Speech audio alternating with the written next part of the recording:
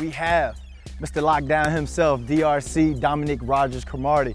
We're gonna teach the fans some yes, of your best moves, Yes, man, sir. right? Yes, sir. I'm ready to do it. All right, so one thing that you do very well, and I have to, as a receiver, I have to give you props on. You play the ball very well, Yes, sir. especially deep balls. So I would kind of want to go through your thought process when you see the ball in the air on a route that's like 40, 50 yards down the field. Cool. Yes, sir. Cool. Receivers lined up here, got the post route. You, you're, you're in the coverage, off coverage. We'll go ahead, we'll go through the route.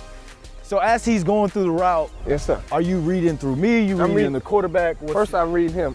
After he make that break, I get my eyes right back to the quarterback. And when the ball's in the air, I forget all about the receiver. all, you become the receiver. I become I become the receiver. Yes, All sir. so we're gonna come down a little bit Come- more. Little- Let's say we're about 40 yards, max protection, deep post. yes, sir. Now, do you panic when the ball's No, in the air? no, no. That's that's my time. So DBs at home, do not No, panic. no, do not panic. Do not panic. I feel as a DB with my with my height and, and jumping ability, if it's in the bar and it lingers for a little bit, it's a 10 out of 10 chance I'm coming down with it. Sometimes sometimes the ball be thrown on the line drive. Yeah. So I, I always like to play outside to give him a think he have a step on me. Yep. And as soon as he make it, I just undercut the ball and come right in. And come right under there. Yes, sir. Intercepted by Dominique Rodgers Cromartie at the five. Did he get his feet in? Yes. Sometimes if a guy got a step on me, Yep. you still don't panic. You know, all you gotta do is find the flight of the ball. So if he got you right here, most quarterbacks might, if you lead him out, all you can do is play the ball. But if it hangs in the air a little bit, Okay. that's when I come over top of you. All right, so let's play this one. I'm in front of you a little bit. The ball's gonna hang in the air.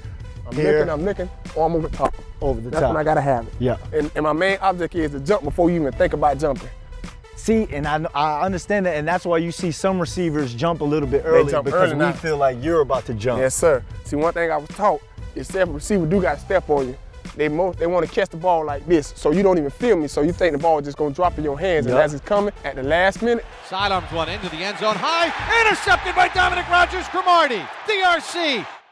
Let's say you get beat. Do you play the hands? You still going for the ball? oh, I still gotta see that ball. Once I find flight and realize that I'm beaten, I can't catch, then I just play the hands. I wait, I wait, and I get it in there. Get in there. Yes, sir. And is there a, a particular hand? You want to come shoot right up in here. Yep. But if you can't get in there, I'm gonna make it hard, and I'm gonna take this hand. and now he you has gotta try to one hand He's got to make a great catch, and that's out of a lot of receivers' pay grade. Yes, It's only sir. a couple that Only could a couple could do that, and, and most of them on our team. Yes, sir.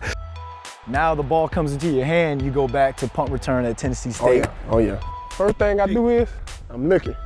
All I need is all I need is one seam. If I see it, I'm gone. Now we gotta play foot race. And now it's just a straight foot race.